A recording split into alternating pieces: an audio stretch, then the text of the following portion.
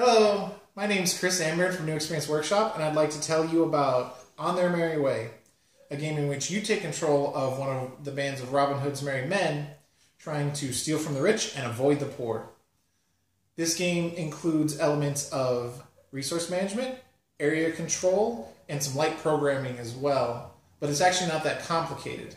I'd like to share with you some of the more interesting systems in play with this game that we've made here. The first thing that's interesting about On Their Merry Way is the resource phase. Each turn, players will choose one of their three resource cards and play it, which allow them to take resources three times in turn order during that phase.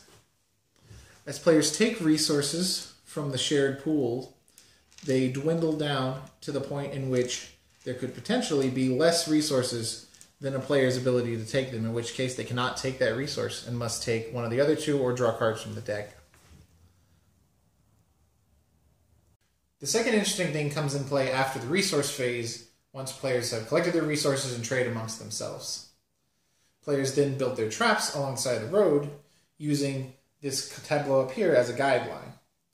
Every merchant is flanked by two cards, which in the upright position show from left to right what their vices are.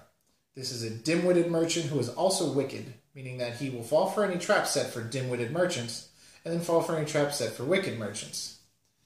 This takes place in the next phase in which the merchant would travel along the path. He would branch from the path for a dim-witted trap, continue to branch for a wicked trap, and then move back to the path to work up in the most immediate and efficient route possible. The two traps that he visited will pay off profit for the play. After each merchant has taken their turn traveling the trail, these merchants will be moved to the head of the next trail for the next round, representing new merchants traveling each path. This tableau will also be changed so that the vices that were on the bottom of the cards are now flipped up, meaning that for the previous turn, you can see what's ahead and try and plan strategically for what's going to come afterwards. After this round, new cards will be drawn from the deck and replace these vices so you're not always sure what's going to be next. Not all vice cards actually have vices on them. For example, here is a peasant. This affects the red and yellow merchant since it's next to both of those cards. It means that this turn, these aren't actually merchants, they are peasants. And when they travel to traps, they will take money from the merry men instead of giving them money. They behave the same way as merchants on the trail. For example, this red peasant is a greedy peasant, so he will move towards greedy traps, while this yellow peasant is a wicked peasant, so he will fall for traps for the wicked.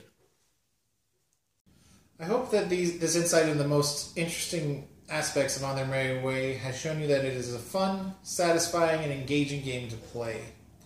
I hope you look forward to giving it a shot if it makes it to the finals, and I thank you for watching our video. This has been On Their Merry Way from New Experience Workshop.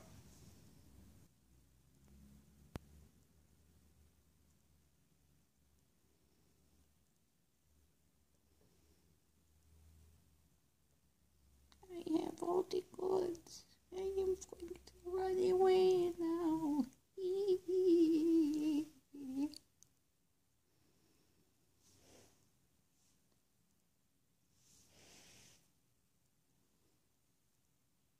there was traps. I have to go back.